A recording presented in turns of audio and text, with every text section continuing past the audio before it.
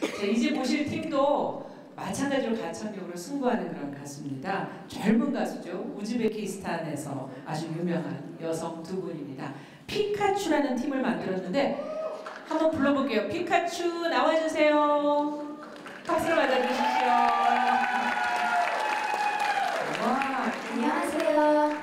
네 이름이 너무 독특해요. 피카츄. 어 뭔가 캐릭터 이름인데 원래 무슨 뜻으로 지셨어요? 피카츄는 네. 어, 폴리나의 비, 카밀라의 가, 아. 어, 러시아의 중도의 주, 어. 앞대 다섯, 어, 피카츄 이름을 짓게 됐어요. 아 그런 거군요. 두 분은 그럼 어떤 사이세요?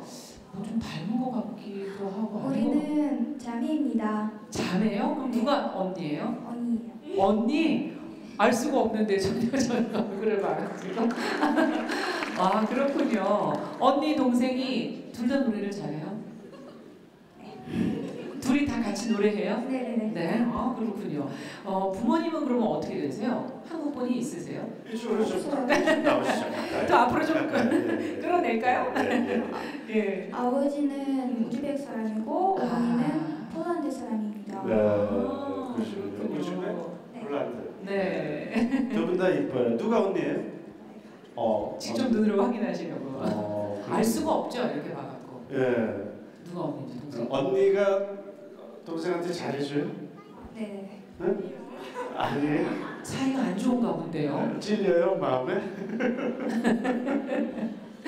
어, 오늘 불러줄 노래가 어떤 노래죠? 스탠드업 포유. Stand Up For You. 어. 한국 가수가 오디션에서 불렀던 노래. 노래잖아요. 네, 네, 예. 네. 자, 내일 기대되는 장르 걸그룹이에요. 네.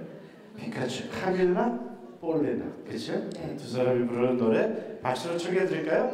Stand Stand Up for For you. You.